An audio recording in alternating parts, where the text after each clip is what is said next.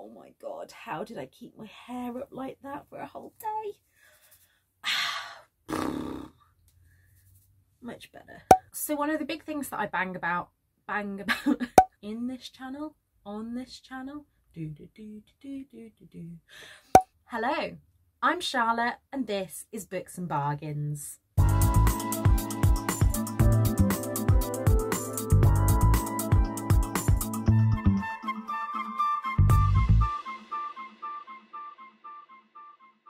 So let's set the scene here. The year is 2003. I am 12 years old and getting settled into my second year of secondary school. Two things you're going to have to use your imagination for here. My eyebrows are currently plucked so, so thinly that they almost don't exist. My makeup is by Sabrina's Secrets magazine and this is a really sticky pink lip gloss. My hair is straightened to within an inch of its life because curly hair was a no-go. Your hair was poker straight, probably with some of those chunky blonde highlights through it. The music playing in the background is a mixture of Evanescence Bring Me to Life when I'm feeling emo, t.A.T.u.'s, all the things she said, Beyonce's Crazy in Love, or Busted's You Said No. I'm probably reading either Jacqueline Wilson's newest release, Lola Rose, or The Lovely Bones by Alice Sebold. And if it's a Wednesday, tonight on TV, I will be watching Bad Girls and then ringing Leanne for a debrief straight after. I've also gone veggie and the food is terrible. There are about three different Linda McCartney meals you can buy and I think Quorn do the chicken pieces and some really dry sausages and that's about it. So now I've set the scene, let's go to school. So today I'm doing the school days tag which is from Victoria what Victoria read. She tagged me in this ages ago and I'm only just getting around to filming so I apologise for that. The tag has lots of different prompts and you can do them all or you can choose from them. And what I've done is I've set up a timetable of how it worked for me at school. So let's go. The first prompt is First Bell. Tell us about the book that first got you into reading. And I've said before that there are a lot of books from my childhood that just all seem to melt into one. But I was talking to someone the other day about the like books my mom read to me as a child and some of my favourites there were Go to Sleep Little Bear and Cuddly Dudley and You're a Hero Daley B and Bad Mood Bear and so reading was always something that was part of my life from a really young age. So I'm going with the English prompt now. So I'm going to pretend that I have double English as there were two questions in English. And the first of this is one book that you studied at school. And I think this was probably in this year. So I'm going to go with To Kill a Mockingbird. To Kill a Mockingbird is the first book that I read that really sticks out to me as something that I learnt from. Um, it's the first one that really made me question things and question the morals of things and really left me quite outraged at the end of it. I think that was the start of me being an activist was when I read To Kill a Mockingbird and I remember just feeling like this is so unfair, the injustice of all of this. And on the same note as that, I do remember again, maybe the same year, possibly a later year, in history, we watched The Pianist, and I was a very sensitive child and teenager, and I am now a very sensitive adult. But I remember having to leave the classroom and cry and then getting teased for ages about that. But that again really got to me. So we move on to our second lesson of English now, and that is one book you would add to the curriculum and why. I have three answers for this and I'm not going to apologise for that. So one of the things that I bang on about on this channel is that I think we need more representation and actually if we're talking secondary school curriculum I kind of think that it needs to get started a lot sooner than that. First of all, if I have these books in my book room, I will show them you. Otherwise, I'll just insert a picture here. Some of them I do have, but they're in my other room and not using spoons to go and get them. So this is just a really small selection of things that I think could be added. So first of all, I want to talk about what I would add into primary schools. And one of those is Me, My Dad and the End of the Rainbow by Benjamin Dean. If you haven't already read this book, it is beautiful. I read it via NetGalley and immediately ordered my own copy. If I'd have read this in primary school, and I really hate the argument from parents, so if this is your opinion, please don't at me because I'm just not open to discuss this, but I hate the thought of like, oh, if kids read about gays, that's going to make them gay. Well, no, because I read about World War II and I don't want to go off and be a fighter pilot. I also read Tracy Beaker and that didn't make me bunk off school. So that's just not an argument we're going to have. But anyway, this book is so inclusive and this is about our main character Archie and Archie finds out that his dad is gay and he doesn't really know how to deal with that. He's not prejudiced towards his dad's decision, he just doesn't know what it will mean for him and his life. And I think we need to read more stories like that.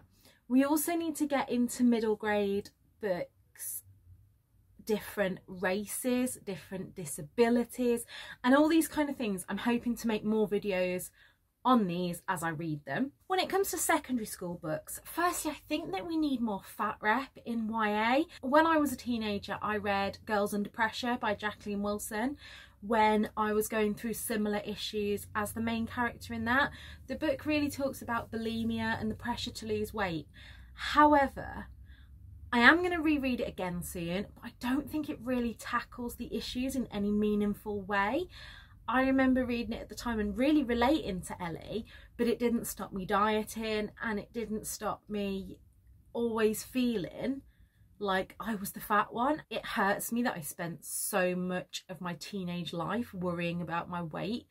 I hated PE and that was because I didn't want to show my body and I think we really need to teach girls, I've said before, how good exercise feels and moving your body feels rather than just making everybody do cross country. Anyway, that is a rant for another time. So I would firstly like to get more plus size representation, books such as Big Bones or Bethany Rutter's books and I'm going to be doing a video this month about five fat rep fictions that I've loved. I also think that, again, we need to be talking about disability, race, and one of the books that has both of these along with sexuality is Full Disclosure by Camryn Garrett. If I'd have read a book like this as a teenager, I think it would have helped me be less judgmental. I think that every book that I was reading was from white authors and it mirrored my experience, but never really took me outside of that. And on the theme of that, I think that everybody should be taught why I'm no longer talking to white people about race because I think that was just such an important book and I think if I'd have read that maybe later teenage years kind of year 10 11 that would have been a really good book to unpick and have discussions on so they're the books I'm going to go for for that question so break time which book have you most recently DNF'd or taken a break from? Well, I talked about my DNFs in my last video, so if you haven't seen that, I'll link it above. So I thought for this one, I'd go for one that is a kind of DNF for now. And I think this may be controversial. However, let me explain. That is Kiley Reid's Such a Fun Age. And I put this down because I know that I'm going to really enjoy this book. But at the time I started reading it, I just needed something really fluffy and I wasn't in the headspace to read something that I'd have to think about. And so I put that down and I am hoping to pick that up again pretty soon. Question four is PE. What are the biggest books on your TBR? So the biggest I think is Lace, which I can't find anywhere which you'd think being such a chunky book it would stand out to me but it doesn't. So I've picked up two. One that I'm currently reading which is Grown Ups by Marian Keyes and this is a chunk. This is over 600 pages. And look how small the writing is I picked that up for the Irish Readathon and yeah I'm a bit put off by big books and I don't know why do big books put you off and have you got any tips to kind of get over that Because the other one, again over 600 pages, is Jodi Picoult's House Rules. And I picked this up in a charity shop because it just sounded so good. It says, when Emma Hunt's son is diagnosed with Asperger's, she knows she will do anything to help him. She accepts, expects other people not to understand. She expects the stares and whispers. She even expects trouble with the police, but she doesn't expect Jacob to be charged with murder. And that just intrigued me straight away. But again, that is a chunk. Question five is drama. What is the best ending? And again, as I'm sure you're accustomed to by now, I have more than one answer for this. The first book that immediately came to my mind was Clare Mackintosh's Let Me Lie. Now, I know that Clare Mackintosh is a bit of a divisive author on BookTube, but I have read everything that she has written so far and I have loved everything that she has written so far. So that's where I stand on the Clare Mackintosh debate. I know my friend Lianne from Literary Diversions does not like Clare Mackintosh and it hurts my heart to think that I have a friend that is like that. However, this book had me twisting and turning and every time I figured thought I'd got it figured out I was completely wrong and then the very last line of this book got me like I, I just couldn't. So if you haven't already read that and you like a thriller I definitely picked that one up. The other one is the Paris Library which I know I have banged on about recently but I think it just took me by surprise that I loved a historical fiction so much. And I don't think it's the very very ending but there's something that happens in this right near the end. And if you you've read it you'll know what I'm talking about that just made me go, whoa, oh my God, I was not expecting that. So yeah, that had to be in there. We're on to question six and we're now going for lunch. For the record, if I was at school right now, my lunch would either be a bag of chips, which I think, okay, so this is another thing that used to bug me at school a bag of chips was 35p for half a bag, 70p for a full bag, and the half a bag was always more than enough. It was really cheap. Whereas the sandwiches and things were always more expensive, and I was obsessed with losing weight, so that used to really bug me. But then I remember, I'm sure we were in year 10, they got Pasta King, so I used to have a veggie pasta every day for my lunch. Anyway, that's not what this tag is about. The question for this one is favourite book that features food and I'm going to be really predictable here and go for Hungry Hearts because Hungry Hearts is a short story collection that encompasses all these different food places on Hungry Hearts Row and everybody's stories from the different places and I loved it. That was gifted to me by Victoria so definitely a good book. Question seven is how do you rate your books? And I used to just give five stars to everything, but this year I'm trying that when I do my wrap up, I really think about, okay, which books are a five star? And a five star to me has got to be like a new favourite that I think will be my favourite forevermore. Obviously, I don't know if it will be. I could change my mind at any point in the future, but when I'm rating it, that's what I try and have in my mind then most of the other books I read either fit into a three or four star category. So four star is really enjoyed, but not quite enough to give it that five star.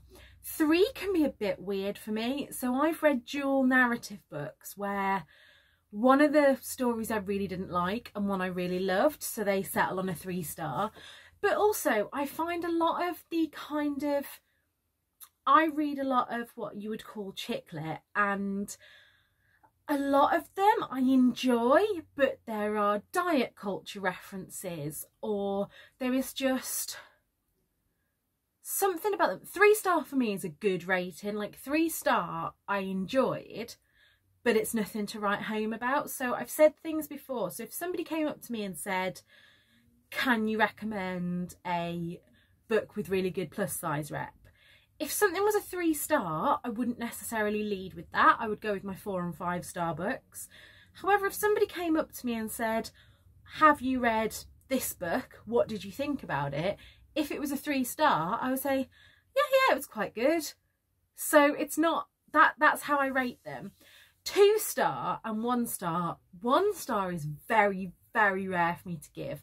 Most books that I don't like get a two star because if I'm not enjoying them, if I DNF them, I don't tend to give them a star rating unless I've read more than about 75% of them before I DNF.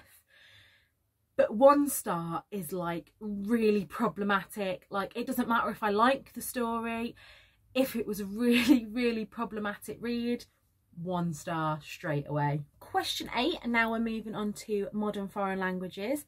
Fun fact, I did German at school and I can still speak basic German now.